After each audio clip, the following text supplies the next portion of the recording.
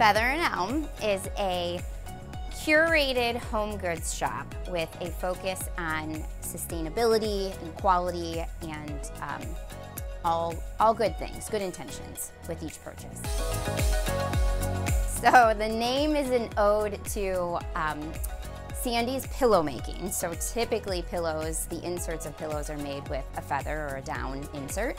Um, and that was sort of the, the initial thought for the store.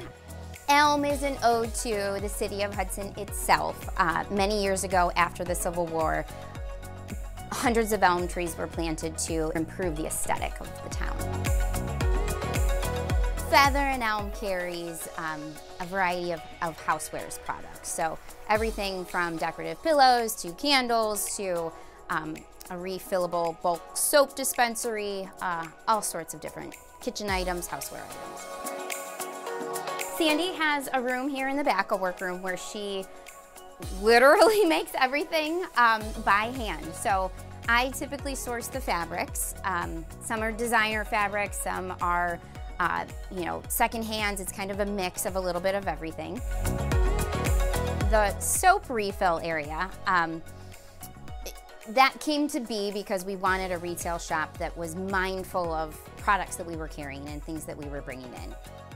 So a refill uh, soap dispensary is where you can bring in any container from home, whether it be a pretty glass vessel or an old Tide container, and you um, you fill it with a large quantity, take it back to your home and you know either put it in another cute container or keep it as is.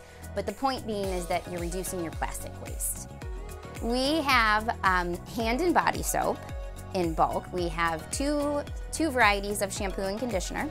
We have a few multi-purpose sprays. We have um, dishwashing soap and a few lotions. So we try very hard to support locally owned or handmade, uh, fair trade, or even a lot of women-owned businesses.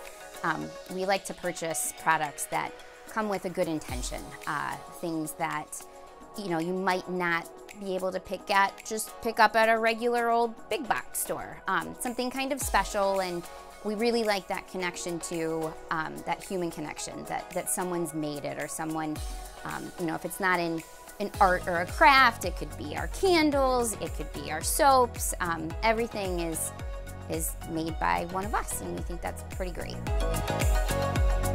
People are really excited about purchasing with a, a, conscience, you know, purchasing with some sort of good intention about it. Um, the fact that they know that they're directly supporting uh, someone local or an individual, um, it just, it, it really makes for a really great shopping experience.